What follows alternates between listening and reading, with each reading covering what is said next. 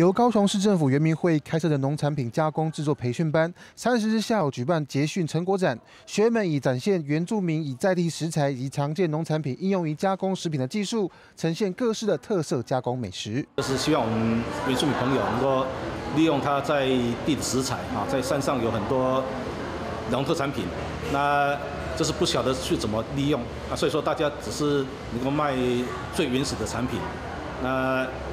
所所得的话，可能就不多啊，所以说我们就希希望能够它在农产品盛产时候啊，能够把它融入一些加工。这一次培训主打的菜色有芒果奶酪、爱玉冰、蛋黄饼跟芋头吉纳福等等。不但穿着原住民族风味的服饰上课，学员们除了想要学习一技之长之外，也希望能够将加工食品的技术带回部落，让部落的农产品透过加工改良来提升经济价值。呃，这个是芒果过季了哈，但是我们有留一点芒果。